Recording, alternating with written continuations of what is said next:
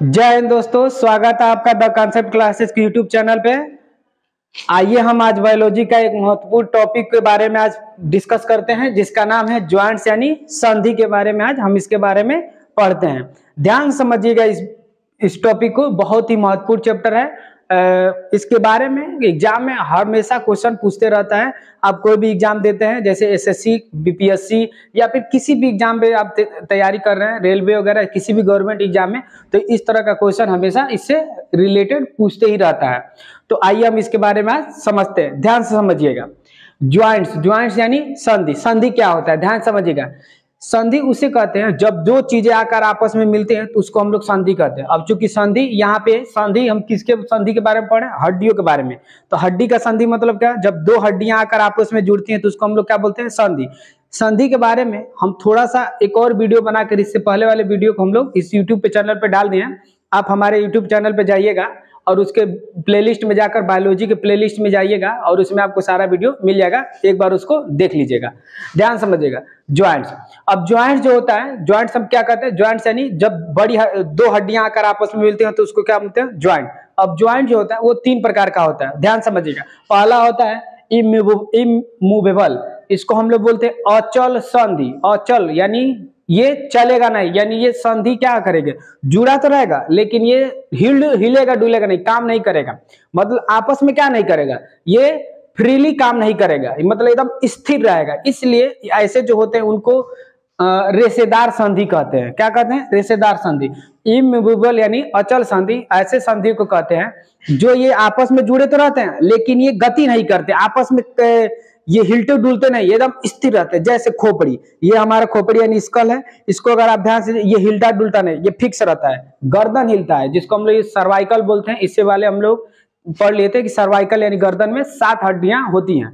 तो ये क्या होता है? ये इमूवेबल होता है। ये हिलेगा, डुलेगा ना, इसको आप हिला डुला नहीं सकते हैं। समझ में आ रहा है? तो इसको हम लोग क्या बोलेंगे? ये खोपड़ी। ये खोपड़ी की हड्डी, ये आठ हड्डियों का समूह होता है, आकर जुड़ती हैं।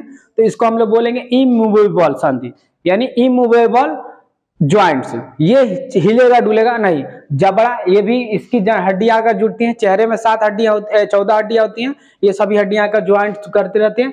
तो दांत, जबड़ा, ये सब हड्डियाँ जो जुड़ी होती हैं, ये क्या होता है? इमूवेबल होती हैं। ध्यान समझिएगा। दूसरा जो संधि है, वो है स्लाइटली मूवेबल इसको हिंदी में बोलते हैं अपूर्ण संधि। ध्यान समझिएगा, जैसे एकदम नहीं हिलता डुलता था, ये थोड़ा बहुत हिलेगा, यानी कम हिलेगा डुलेगा। जैसे रिप्स रिप्स आप देखिए, आप ऐसे हिला सकते हैं, ऐसे हिला सकते हैं, लेकिन एकदम फ्रीली नहीं घुमा सकते। एकदम आसानी से नहीं घूम सकता है कि कैसे घुमा दे, जैसे हाथ घूम गया, पैर घूम गया, ऐसे नहीं घूम सकता है। कमर, ये सब समझ में आ रहा है? तो ये सब की हड्डियाँ क्या होती हैं? अपूर्ण संधि होती है बैकबोन जैसे ये कमर यानी ये बैकबोन जिसको हम लोग बोलते हैं वर्टिकल कॉलम इसकी हड्डियाँ क्या होती है? ये पूरी तरह से नहीं घूम सकती है, यानी काम नहीं कर सकते फ्रीली समझ में आ रहा है? तो ऐसे ज्वाइंट्स को हम लोग बोलेंगे स्लाइटली मूवेबल अब ध्यान समझिएगा, तीसरा संधि होता है फ्रीली मूवेबल यानी ये एकदम फ्री घूमेगा, इसको कोई दिक्कत नहीं अपने हर दिशा में काम करते रहेगा। इसके जो है, यही मेन होता है, इसके चार पाँच, चार आपके लिख दिया गया यहाँ पे, पाँच पार्ट होता है। ध्यान समझिएगा, यही इंपॉर्टेंट है।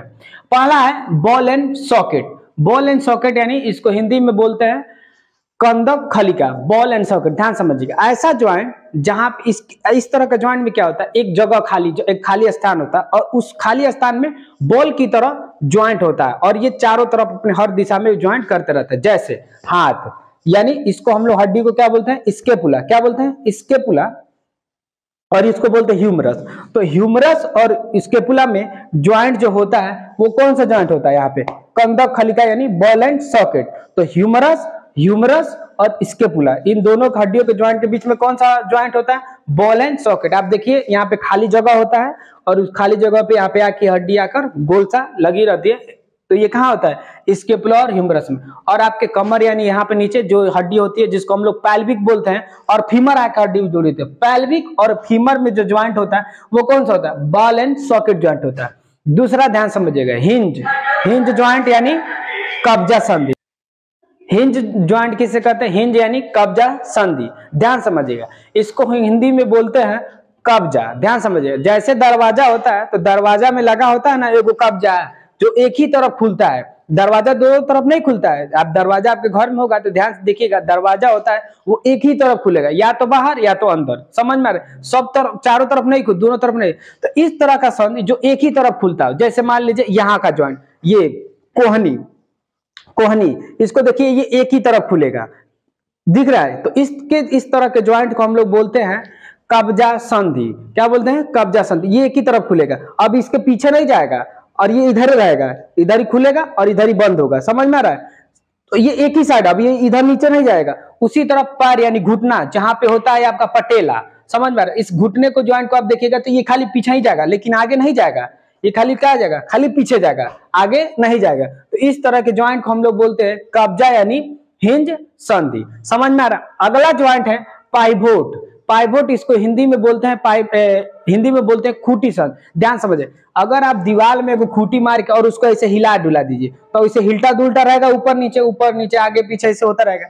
तो इस तरह का संधि जहाँ पे, खूटी की तरह हो यानी वहाँ पे लगा हो एक फिक्स डायरेक्शन में मतलब एक खास तरह के दिशा में ही गति करे। ऐसे संधि को हम लोग बोलते हैं पाइवोट यानी खूटी संधि। ध्यान समझिएगा ये देखिएगा। जो ये हम लोग का कसेरुकी दंड आया होता है, इस पे हम लोग का क्या टिका हुआ? सर तो ये सर का जो ज्वाइंट होता है, ये कसेरुकी दंड और ये सर का जो ज्वाइंट होता है, वो कौन सा ज्वाइंट होता है? इसका ऊपरी भाग, जिसको हम लोग बोलते हैं, इसको जो बोलते हैं एटलस क्या बोलते हैं एटलस और निचले भाग क्या बोलते हैं? एक्सिस समझ में आ रहा है? इसका ऊपरी भाग एटलस निचले वाला भाग एक्सिस कहलाता है।